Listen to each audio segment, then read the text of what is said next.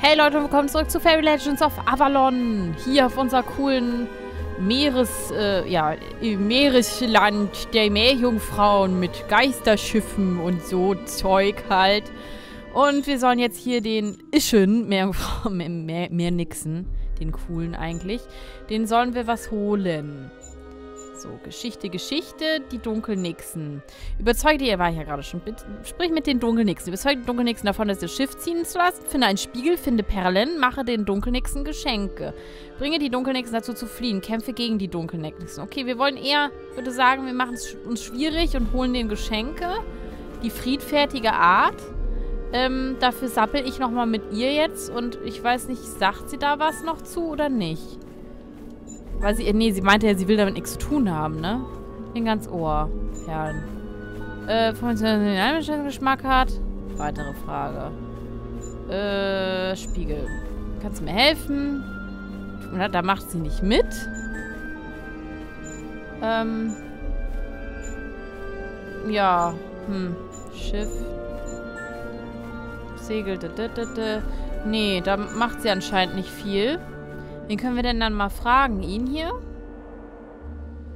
Ihn mal ansprechen? Vielleicht weiß er ja irgendwas. Hey, Lumpo. Was geht? Äh, Perlen. Ich brauche Perlen. Weißt du, wo ich welche finden kann?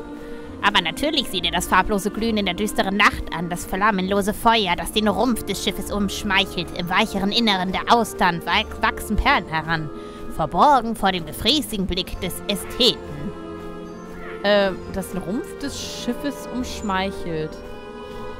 Aha.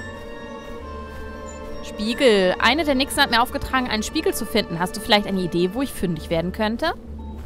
Das Sein, äh, was? Das Sein ist ein Rätsel unseres eigenen Spiegelbilds. Schön, nicht wahr? Stammt aus meiner Feder. Rätsel und Aphorismen gibt's bei mir wie Sand am Meer. Aber Spiegel? Nein, nichts. Okay, gut, dann tschüss. Tschüssi. Dann im Schiff vielleicht nochmal gucken. Im Rumpf. Oder vielleicht weiß sie ja auch was hier. Sie Senta. Huhu, Senta. der müssen wir doch eh mal plaudern. Sei gegrüßt, luftiges Wesen. So. Äh, angegriffen. Nee. Ehemann. Ist der Kapitän dein Ehemann?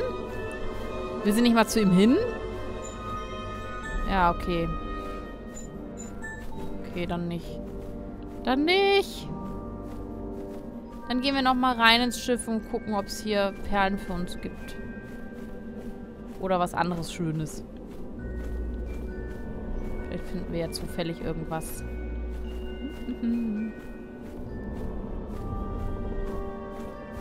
Ah, jetzt musste ich niesen. Das ist nicht so schön. Da kommen wir nicht runter.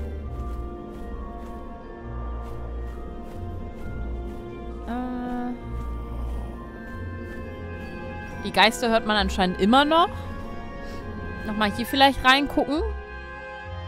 Weil bisher weiß ich auch nicht, wo der Spiegel sein könnte. Ist der vielleicht auch hier beim Schatz? Wo der Schatz war oder so. Die Sonne scheint wieder so doof auf meinen Monitor. Das ist echt... Es war schön, dass die Sonne mal wieder scheint. Ist klar, aber... Äh, Monitor scheinen ist immer nicht so geil. Mhm. Ja, aber man kam doch hier noch irgendwie... Man kam doch hier nicht nur da lang, man konnte doch noch weiter um die Ecke. Bin ich doof? Oder war das, war das alles hier? Ich glaube, das war dann alles hier. Hm. Na gut. Dann raus mit dir. Wenn hier auch nichts ist, ich suche mal weiter. Es gab so viele Cuts im letzten Part. Ich mache jetzt mal nicht einen Cut. Und such mal erstmal ein bisschen weiter.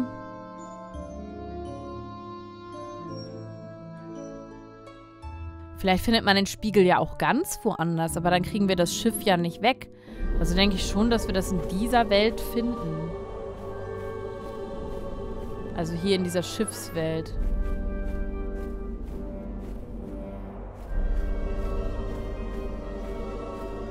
Die Perlen sind für mich aber eher sowas, was man auch tatsächlich hier am Strand findet.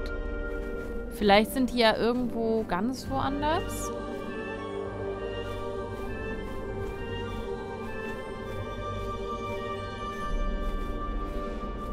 Hm. Vielleicht weiß einer von den anderen Bescheid. Ba, ba, ba, Fragen. Hm, Perlen. Ich suche Perlen für eine der Nixen. Auf der Backbordseite des Schiffsrumpfs sind Austern. In denen findest du bestimmt ganz tolle Perlen. Äh, Schiffsrumpf schon wieder mal. Wenn ich mal wüsste, wo das jetzt genau ist. Beim Schiff. Da bin ich gerade ein bisschen blöde.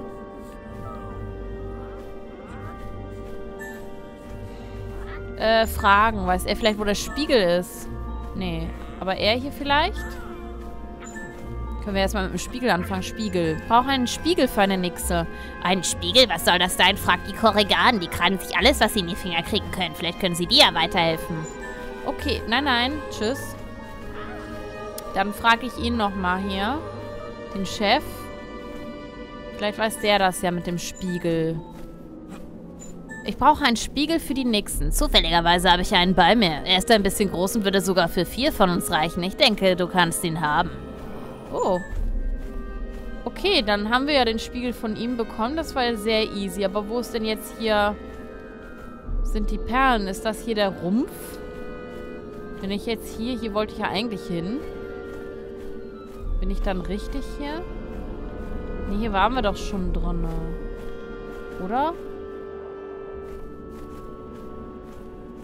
Ich will zum Rumpf des Schiffes.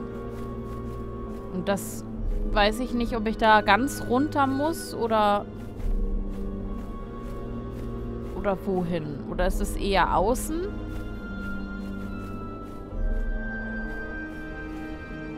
Ich meine Austern und so, die könnten doch gut hier irgendwo dran kleben.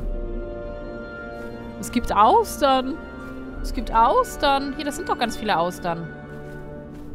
Na? Ist da nicht was bei? Sind die da alle kleben? Ja, da vorne. Tatsächlich. Na cool. Perlen nehmen. Und die öffnen sich hier alle so schon. Das ist ja praktisch. Habe ich jetzt genug? Nein, noch mehr Perlen. Okay, ich habe Perlen gefunden. Und ich habe den Spiegel. Das war jetzt wirklich nicht so schwer. So, dann kriegt die Truller hier mal, äh, weiß ich nicht, ihren Spiegel. Ich glaube, das ist die Spiegeltante. Wenn ich mich richtig erinnere, habe ich dich um einen Spiegel gebeten. Wie soll, lange soll ich denn noch warten? Er war, es war nicht leicht zu finden, aber hier bitte, da ist er und so. Gehörst ja nicht gerade zu den schnellsten und dein Spiegel kann auch nicht wirklich mit den meiner Urtante Visconia mithalten, aber was soll's, sein Zweck wird das schon erfüllen. Vergiss nicht, du hast mir etwas versprochen, als ich gesagt habe, dass ich dir einen Spiegel besorge. Lass den fliegenden Holländer ablegen, sofort. Denkst du allen Ernstes, dass ein kitschiger Spiegel es wirklich wert ist, einen so wichtigen Befehl zu missachten? Ja, das tue ich. Ich habe wirklich Mitleid mit dir, du lächerliches Flatterwesen, aber wenn es dir so wichtig ist, lass ich das Schiff halt ablegen. Auf Nimmerwiedersehen. Schönen Tag noch und hoffentlich werden wir uns nie mehr über den Weg laufen. Und weg war sie. Aber es hat wenigstens geklappt. 200 Erfahrung. Vielleicht hätte ich nicht so viel bekommen am Ende an Erfahrung, wenn wir gleich gegen die gekämpft hätten. Oder genauso viel, das weiß ich jetzt nicht. Mit Telxie Paya sprechen. Hast du die Perlen gefunden, um die ich dich gebeten habe, jämmerliches Insektengeschöpf? Wie sie sie alle voll dissen, weil sie eine kleine Fee ist. Hier sind sie, fünf an der Zahl. Ich hoffe, sie gefallen dir. Danke, gut, ich bin weg. Leb wohl. Und weg war die zweite Nixe. 200 Erfahrung bekommen, das ist schön. Wo ist jetzt die? An, was ist mit der? Will die nix? Ihr habt hier nichts zu suchen. Verschwindet, ihr dreckigen kleinen Biester. Gewalt war noch nie eine Lösung. Ich will dir ein Geschenk anbieten. Ein Geschenk? Jetzt sieht die Sache ganz anders aus. Neulich ist mein Kamm zerbrochen und meine Haare sind voller Seetang. Das ist weder weiblich noch hübsch. Ich kann mich schon auf die Suche nach einem Kamm machen, aber... Aber? Du kriegst den Kamm nur, wenn du dann das Schiff ablegen lässt. Du vergisst, dass ich meine Befehle habe. So einfach lasse ich mich nicht bestechen. Da gibt es nichts zu diskutieren. Ohne Schiff kein Kamm. Wie lautet deine Entscheidung? Oh, du bist ein zäher Verhandlungspartner, also gut, aber beeil dich. Andernfalls sehe ich mich gezwungen, mir die Haare abzuschneiden. Und dann musst du auch noch eine Schere für mich auftreiben. Ich mache mich sofort auf den Weg und besorge dir den Kamm. Bleib, wo du bist. Voll die Zicken-Nixen. Ah, ich will aber die Hübscheste sein. So, wer hat jetzt einen Kamm? Kannst du mir vielleicht helfen mit dem Kamm? Äh, Fragen. Kamm. Ich brauche einen Kamm. Weißt du vielleicht, wo ich fündig werden könnte? Warum? Euer seidenes Haar schimmert doch bereits in hellem Glanze. Was könnte ein solch profaner Gegenstand da noch ausrichten? Aber wenn ihr darauf besteht, so fragt die Korrigan. Wenn euch jemand in dieser Angelegenheit helfen kann, dann am ehesten sie. Okay. Edler Freund, danke schön. Dann wollen wir mal wieder zu denen hin. Bin ich froh, dass das jetzt so gut geklappt hat mit den zwei Sachen hier. Schon einsammeln. Das ging ja doch recht fix. So, dann hilf mir mal nochmal mit dem Kamm. Ich versuche einen Kamm aufzutreiben. Hast du eine hier, wo ich... Hast du eine Idee, wo ich fündig werden könnte? Wir haben mal in der Kajüte des Kapitäns einen Kamm gesehen, aber der hat seine Angebeteten gehört und deswegen haben wir die Finger davon gelassen. Vielleicht gibt er ihn dir ja. Okay. Dann... Oh, ich klicke das immer aus Versehen zweimal an. Kajüte des Kapitäns. Dann bitte, Kapitän, hilf mir. Ich brauche einen Kamm, Kapitän. Du weißt nicht zufällig, wo ich einen finden kann? Meine Angebetete hatte einen ganzen Schrank voll und damit ihre pechschwarze Haarpracht zu pflegen. Du hast nicht ein oder zwei davon aufgehoben, oder? Diesen hier habe ich als kleines Andenken behalten. Du kannst ihn haben, Flügelwesen. Oh, cool. Ja, dann war es das ja auch schon. Oh, bin ich falsche Seite? Ja. Wo ist die Nixe? Die eitle, zickige? Da. Da hast du deinen Kamm. Hier ist der Fischfrau und jetzt lass den fliegenden Holländer ablegen. Ich habe zwar schon schönere Kämme gesehen, aber der tut's auch. Und jetzt verschwinde. Ich will dich hier nie mehr wiedersehen, wie die sich fertig machen. Alle. So, jetzt verzieh dich. Alten Erfahrung 200. Die nächsten sind alle weg. So, was sagt sie jetzt dazu? Als letzte? Gott sei Dank, meine lieben Schwestern haben dir nichts angetan. Hast du gerade lieb gesagt? Gut, sie können manchmal ein bisschen griesgrämig sein und ja, sie sind nicht gerade einfühlsam, aber trotzdem versuchen sie immer zurückhaltend zu bleiben. Das ist auch gut so, es würde mir nämlich nicht gefallen, wenn sie mir zu nahe kämen. Es tut mir leid, dass du wegen meiner lästigen Schwestern in Schwierigkeiten geraten bist. Ich habe hier ein kleines Geschenk für dich. Ich hoffe, es entschädigt dich für die Unannehmlichkeiten, die du hattest. Pass auf dich auf. Neuer Abschnitt. Waffe aus Wasserset. Wie cool. So, und jetzt haben wir das gelöst. Ist das Schiff jetzt weg? Also, die dürfen jetzt ablegen. Möchte dazu noch jemand was sagen? Oder nicht? Sprich mit dem König. Oder eher mit dem, mit dem, mit dem Captain müsste man nochmal treffen. Aber wir sollen jetzt zurück, nehme ich an. Nee, das ist gar nicht hier. Das war da. Gekämpft haben wir hier jetzt schon die ganze Zeit nicht mehr. Dann gehen wir jetzt zurück. Aber erstmal möchte ich ähm, unseren Drake, glaube ich, wieder haben. Und vor allem soll sie auch getauscht werden. Hier die Piraten-Tussi. Äh, Drake. Guter Drache. Wo ist denn der gute Drache, hm? Ja, Schnur, Schnur. Ist doch keine Katze, Kompliment. Was für ein lieber, kleiner, süßer, toller Drache. Brr, brupp. Okay, wir können unseren Drake begleiten. Brauche deine Hilfe. Willst du mich begleiten? Ja, ja. Okay, Bert besetzt. So, die Amareta, die bleibt jetzt hier. Und dann nehmen wir unseren Asil auch wieder mit. Äh, gegen Bert. So, das sind jetzt wieder unsere Leute. Damit gehen wir jetzt wieder zurück. Haben wir damit alles hier erledigt oder nicht? Beim Schiff. Ich hoffe es. Ich mach mal hier Dunkelnixen. Ach so, da gehe ich mal rein. Genau, gegen die brauchen wir nicht mehr kämpfen. Sprich mit dem Kapitän. Ach so, ich wusste es. Ich hätte mal doch noch nicht zurückgesollt. Dann gehen wir da nochmal eben rein. Ich glaube, dann sehen wir das Schiff auch gleich wirklich ablegen. Ich habe mich schon gewundert. Also doch mit dem Captain reden. Aber dann haben wir die Crew schon mal wieder richtig organisiert. Wo ist er denn? Captain, oh Captain, mein Captain. Da. Sei gegrüßt, Flügelwesen. Kapitän, du kannst wieder deine Seemänner zusammentrommeln. Ich danke dir für deine Hilfe. Endlich können wir wieder raus aufs geliebte Meer fahren. War mir ein Vergnügen, Kapitän. So, jetzt können wir zurück zu Oberon. 250 Erfahrung. Und? Gehen die jetzt auch weg oder nö? Oh Mann, ich dachte, man sieht das wenigstens noch so cool ablegen. Oh. Na gut, dann hauen wir ab. So, ich will jetzt aber nochmal, steht das jetzt hier? Lumpus Rätsel. Ach, finde die höchste Stelle dieser... Nee, dann ist die... Das dann können wir noch zurück für den dritten Cousin von Gobedik. Das machen wir noch. Erstmal gehen wir zurück. Dann doch.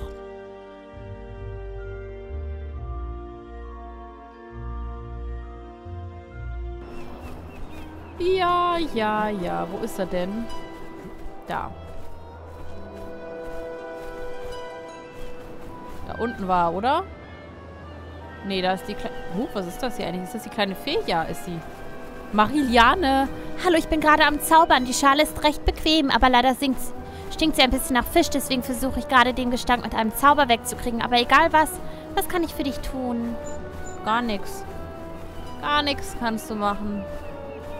Ist denn der Oberon?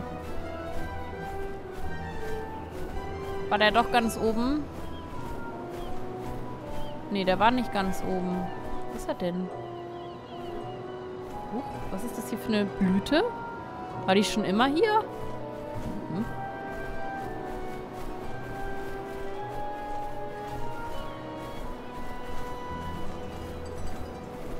Hä, der hängt doch hier sonst immer rum, oder nicht?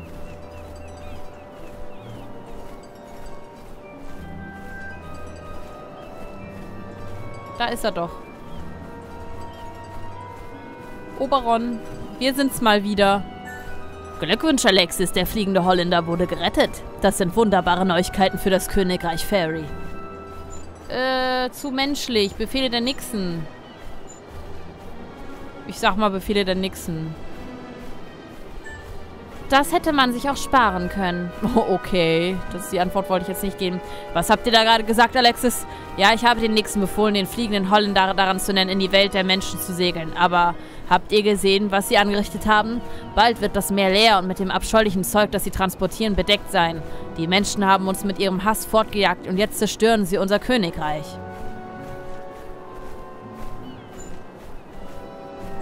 Ach nichts, Euer Majestät, wie lautet euer nächster Auftrag, o oh, weiser Herrscher, wie sie ihn auch einfach mal nicht ernst nimmt.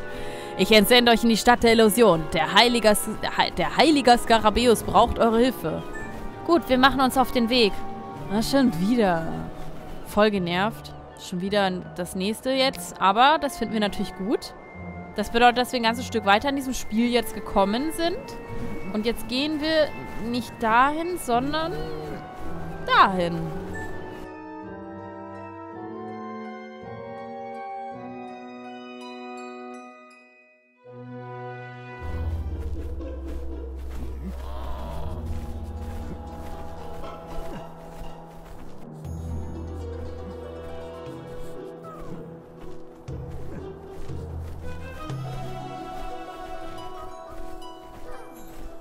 Sieh an, Fremde. Willkommen in unserer wundervollen Stadt, meine lieben Freunde. Allerdings muss ich euch mit Bedauern mitteilen, dass ihr sie nicht in bestem Zustand erblickt. Was führt euch also hierher? Vielen Dank für den netten Empfang. Mein Name ist Alexis. König Oberon hat uns geschickt, um deine Stadt und damit ganz Fairy zu retten. König Oberon? Hm. Also pass mal auf. Du scheinst mir ein freundlicher Zeitgenosse zu sein. Und deine Mission ist ja auch ganz wichtig. Aber lass dich, lass dich gewarnt sein. Den Namen solltest du hier in der Gegend nicht allzu laut aussprechen. Es freut mich zwar, dass du mich warnst, aber ich verstehe nicht ganz. Was gibt es denn hier für ein Problem mit dem König? Sagen wir einfach, dass seine Majestät nie richtig nett zu uns war und viele ihm deswegen böse sind. Aber wo bleiben nur meine Manieren? Ich bin Selim, ein Djinn. Und vielleicht sehen wir uns ja wieder, wer weiß. Geht mit Frieden. Äh, ja, du auch.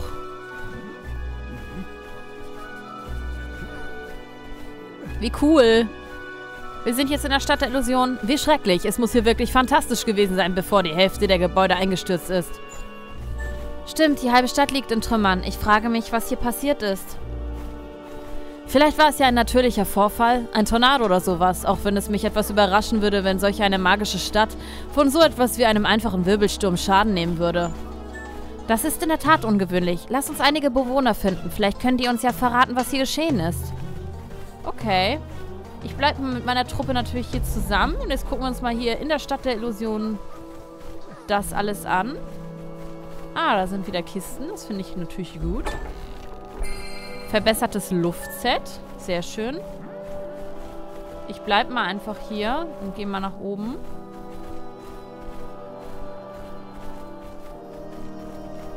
Ah, wen haben wir hier?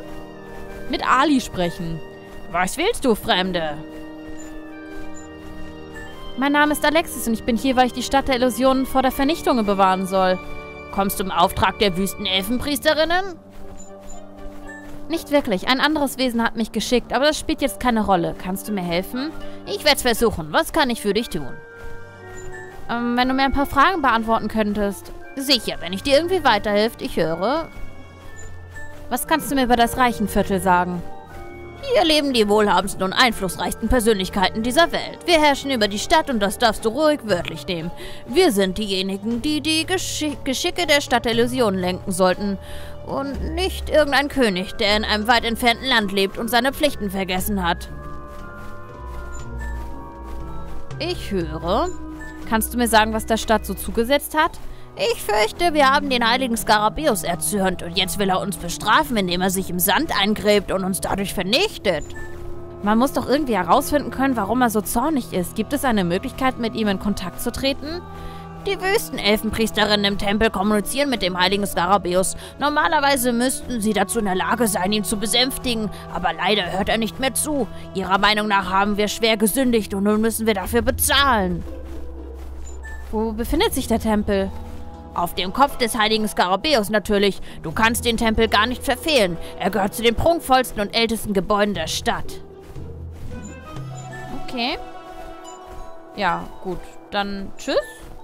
Und dann würde ich sagen, gucken wir uns hier weiter in der schönen Stadt um, der Stadt der Illusionen. Gucken, was es hier noch gibt. Die Musik ist ziemlich cool und dieser ganze südliche Flair finde ich ziemlich cool, wie gesagt. Ich hoffe, ihr auch. Wir sehen uns im nächsten Part. Bis dann.